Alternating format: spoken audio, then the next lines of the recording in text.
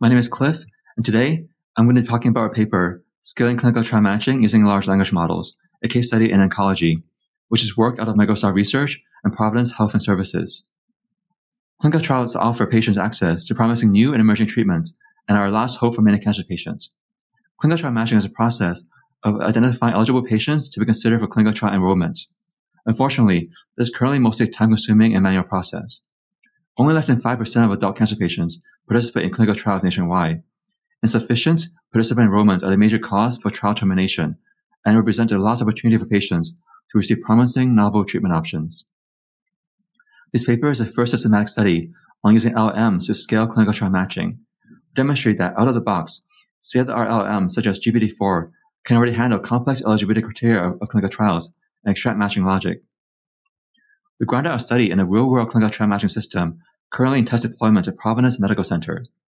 We use a structured then match approach, which consists of three main components. First is structuring clinical trial eligibility criteria. Second is structuring patient information from electronic health records. And third is matching and ranking. In this work, we focus our study of LLMs on structuring clinical trial eligibility criteria. The patient structuring component leverages an existing state-of-the-art self-supervised deep learning model and an information extraction system. The matching ranking uses heuristics that rely on a hierarchical representation of the entity terms. The top of this slide shows an example eligibility criterion from a trial.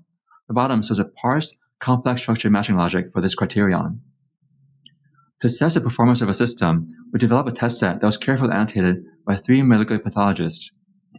In the first simple setting, we focused on evaluating extraction of histology and biomarker entities that are relevant for inclusion and exclusion criteria, ignoring the complex matching logic.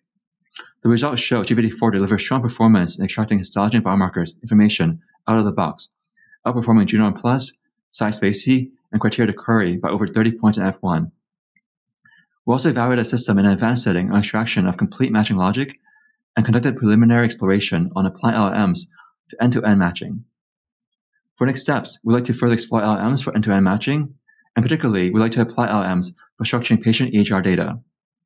This figure shows the complexity and challenges of structuring patient record. The x-axis is time, the y-axis are different node types for one patient. Each vertical line corresponds to one node. Even with GPT-4's 32K token context length, we will not be able to naively input all patient nodes into context for structuring or matching. Therefore, we'd like to enhance LLMs to address limitations such as context length and accuracy using techniques like prompt programming and fine-tuning.